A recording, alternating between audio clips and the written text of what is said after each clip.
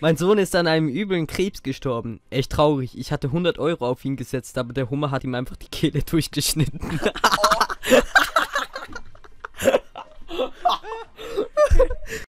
You can't take it back, no. I've got so much left to say, but I'll Gut, meine Freunde, und herzlich willkommen zu einer seit längerer Zeit mal wieder Folge Let's Lachflash mit dabei. Heute natürlich der Matt. Hallo zusammen! Okay, ich rede nicht mehr mit dir, du bist irgendwie langweilig. Nicht was? Nee, Okay. Ich mal. Wir, ähm, wir hauen uns gegenseitig mal ein bisschen. Wir machen das ein bisschen anders. Wir machen das nicht mehr mit Bestrafung, weil. Noch nicht. Oder noch nicht. Oder nicht mehr. Weil es war ein bisschen so, ja, jeder probiert nicht zu lachen und eigentlich ist es sehr witziger, wenn man lacht, ne? Ja, vor allem sind wir nur zu zweit und deswegen äh, denke das ich, auch, ist, ja. ist es besser, wenn wir mitlachen machen. Wir können ja, also Let's Lachflash ist generell so ein Format, wo wir einfach die größten Scheiß abliefern überhaupt. Zum Beispiel, zum Beispiel mit der magischen Miesmuschel wird es bestimmt auch mal wieder eine Folge geben. Ich oh habe ja, das ich war richtig- Oh, das war richtig geil damals. Ähm, ja, wir haben erst zwei Folgen insgesamt aufgenommen, also insgesamt drei. Eine haben wir beide hochgeladen und äh, dann noch zwei unterschiedliche. Eine kam auf meinem Genau. Kanal und eine auf deinem. Und äh, das ist schon, Alter, das ist schon richtig lange her, die letzte Folge. Und wir wollen, Eindeutig. und ich wäre dafür, dass wir das in Zukunft etwas öfters machen, weil ich bin überzeugt davon, dass die Zuschauer das mögen. Ganz sicher, ja. okay, ähm, willst du gerade anfangen mit dem ersten? Schließlich bist du Gast und ja. Ja, gerne. Okay, wie nennt man einen intelligenten Toilettenbenutzer? Ein Klugscheißer. Okay, flacher geht's wohl gar nicht mehr, aber Ja, egal. klar.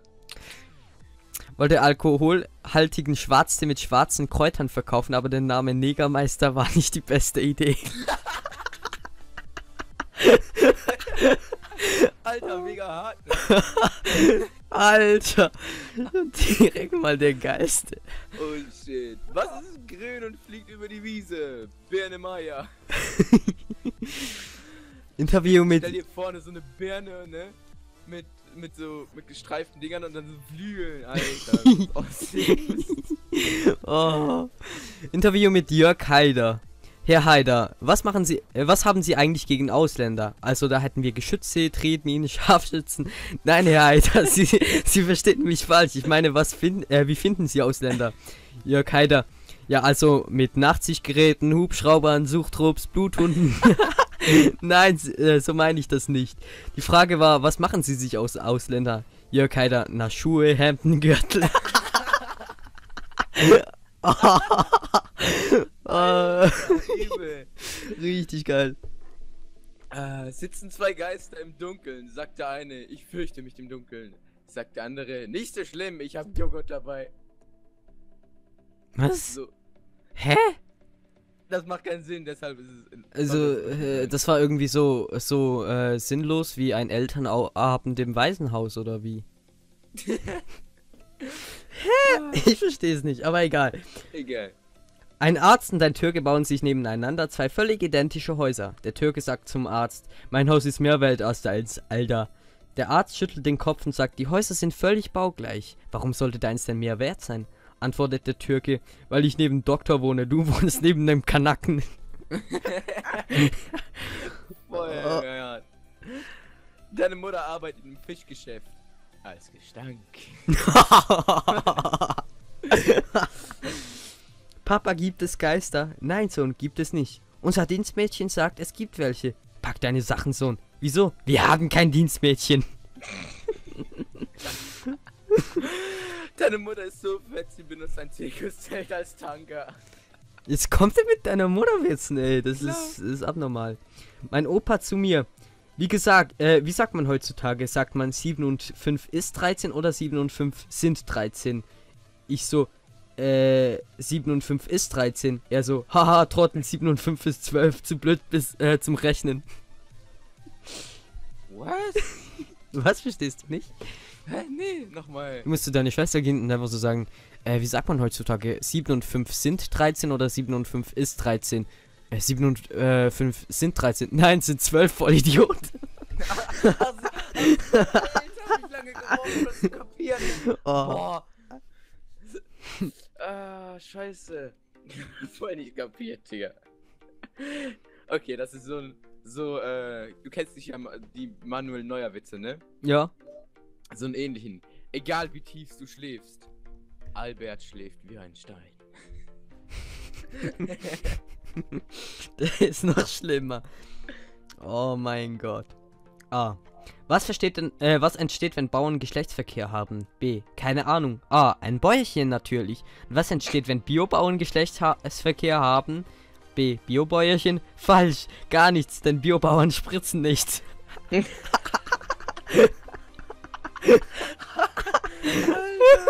Ah, kommt da mit den besten Dingern raus, ey. nee, das sind noch die schlechtesten, die ich habe. Oh je, das wird, das wird ja witzig. Oh, das wird richtig lustig. Ähm, egal wie, wie jung deine Freunde sind, Jesus Freunde waren jünger. Ah, den kenne ich. Oh man.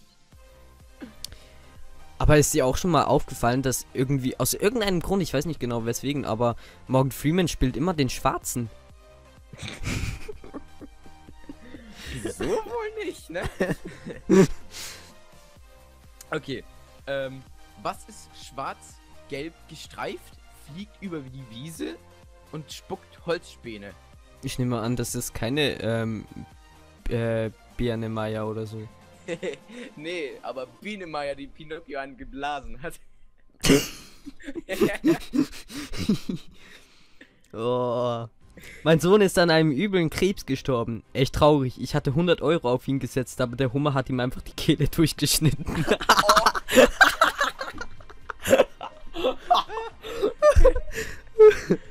so geil.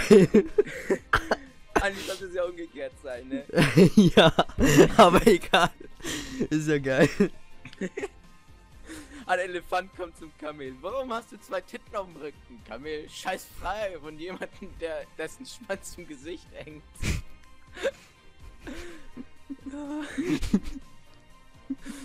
oh, süß. Okay, den hier habe ich nur wegen dem Nachkommentar unten genommen. Und zwar steht da, Wegen äh, was? wegen einem Nachkommentar unten. Also er hat unten noch was hingeschrieben. Zwar, Also, okay. zwar steht da, ähm, wie kann man eine Blondine den ganzen Tag beschäftigen? Ja. Man legt eine 5-Euro-Münze unten Gla unter einen Glastisch. Um sie zu brechen, legt man 50 Euro drunter. Und da steht unten dran einfach, geht übrigens auch mit deiner Mutter an der Wurst.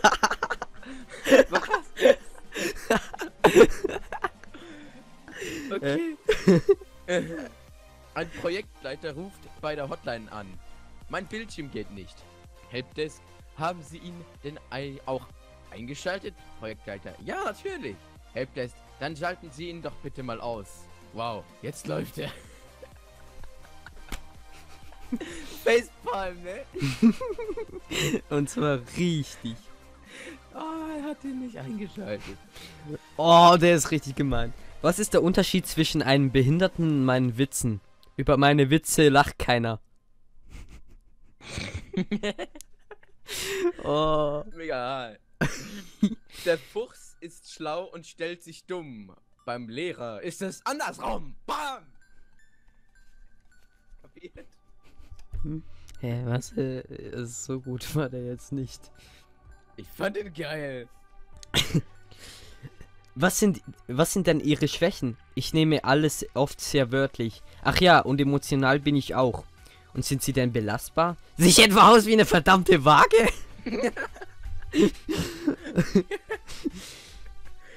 Alles gehend und keiner lachte. Der Lehrer hat einen Witz gemacht. Die Emma fordert jetzt mehr Frauenquote fürs Cockpit.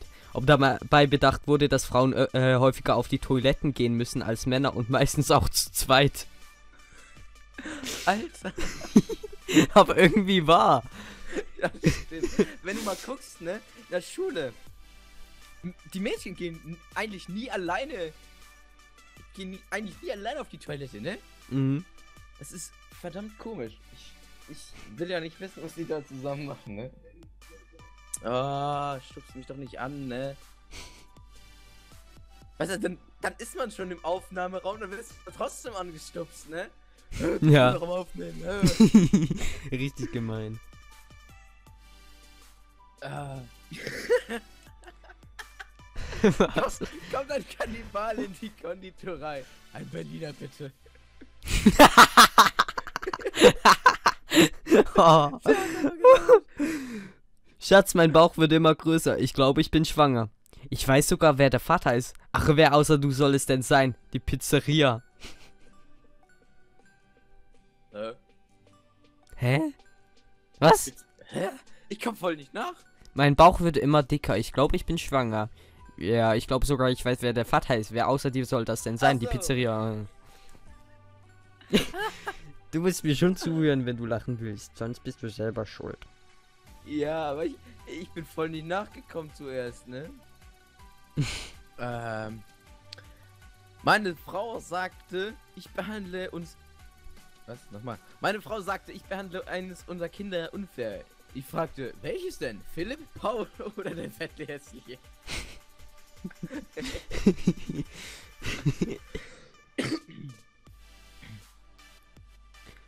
Hm, ich finde gerade keinen guten. Warte kurz.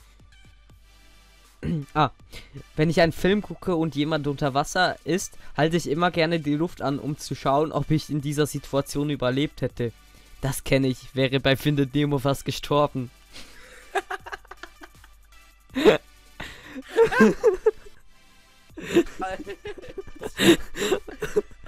Gott. äh, Moment, ich muss kurz suchen. Mach, hau du kurz einen raus. Ähm, ich muss erst selbst noch reinsuchen. ah, kennt ihr das früher noch aus dem Kindergarten? Sag mal Klettergerüst. Klettergerüst. Du hast eine nackte Frau geküsst. Heute sag mal gefriert. Gefriert. Ich hab deine Mutter anal penetriert. Ikea. nee, lieber nicht. Aber stimmt schon irgendwie so. Im Kindergarten sind immer alle so voll harmlos, voll, oh, küssen, das ist voll, voll ekelhaft, voll, voll. Und heute so, ja, ich habe deine Mutter anal penetriert, du Hurensohn. ja, so, boah, geil. Echt? ich bin dein Vater. Echt? Ja, so, Alter, ne? So, in dem Moment, wenn du in den Stimmbruch kommst. Ich war da damals, war ich so im Lager und ähm, Anfangslager konnte ich normal reden. Dann am nächsten Tag ah, redete ich irgendwie so wie, so wie Gollum, ne? Kann ich mir voll gut vorstellen. Tag, ich musste rumschreien, dass mich überhaupt einer verstand. Das nennt man übrigens auch Heiserkeit. Ja, aber das war der Stimmbruch im Moment. Alter, nee, das war so übel. Okay, was ist der Unterschied zwischen einem Kirchturm? Je höher, desto Ding Dong. Hallo. Ähm, irgendwie, hä? Der war jetzt irgendwie gar nicht so lustig, oder? Oder habe ich den? Witz nicht begriffen? Also, Ding Dong steht für die Glocke, das ist klar, ne? Aber, ähm, hä? Ja, Kirchturm, und das macht keinen Sinn. Ich finde solche Witze so witzig. Hä? Egal. Ich bin verstört.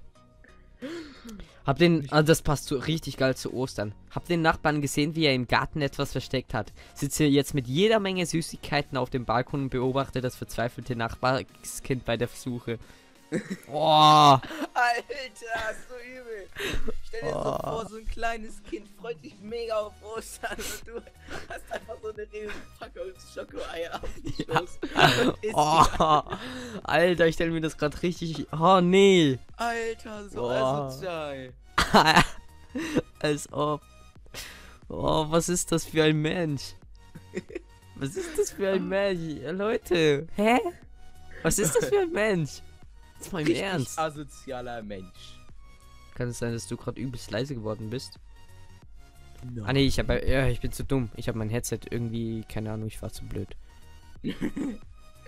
Was, okay, da muss man, da muss man gut zuhören. Was passiert, wenn man Cola und Bier gleichzeitig trinkt? Man kollabiert. Das ist scheiße. Amerikanische. Wissenschaftler Amerikanische Wissenschaftler haben nach jahrelanger intensiver Forschung festgestellt, dass die Ehe Hauptsache Nummer 1 für Alter, Alter, wie das gerade klingt. Hä, was? Wieso? Ich will gar nichts. Das klingt so übel. Ja, ich habe gerade noch äh, zwei Balken. Das ist. Hä? Ich habe noch zwei Balken bei meinem Internet. Das ist sehr nice. Aber, aber weißt du, was das Geile daran ist? Bei meiner, bei meiner Folge jetzt funktioniert's, aber bei deiner Folge hört man mich dann eben nicht. Ah, nee. Alter, aber das klingt so creepy, ne? So, äh, nee. Boah, Okay. Amerikanische Wissenschaftler haben nach jahrelanger intensiver Forschung festgestellt, dass die Ehe Hauptsache Nummer 1 für Scheidungen ist. Dieselben Wissenschaftler haben gemäß einer Studie herausgefunden, dass es Hühneraugen auch im Kopf gibt, vor allem bei Hühnern, in der Regel paarweise. Na gut. Okay. Oh. Ah, geil. Ah. Okay, das ist noch so ein richtiger Flachwitz. Sitzen zwei Leute im Stehkaffee. Ah, den kenne ich. Den hat er Vive schon gebracht. Blondine. Blondine. Jetzt sind meine Haare rot. Äh, jetzt bin ich nicht mehr dumm. Brünette. Aber die Wurzeln sind noch immer blond, also bist du trotzdem noch dumm. Blondine. Was für Wurzeln? Sehe ich aus wie ein Baum? Das ist eindeutig der Beweis. Okay, noch beide ein, okay? Mhm. Okay, Atomwissenschaftler. Keiner lacht. Alle strahlen. Oh, der ist richtig geil. Tod. Deine Zeit ist gekommen. Nimm jetzt meine Hand. Blondine. Niemals. Wenn ich deine Hand nehme, werde ich nie, werde ich sterben. Tod. Unmöglich! Du hast gerade das Geheimnis des ewigen Lebens gelüftet. Darauf ein High Five. High Five, Blondine stirbt.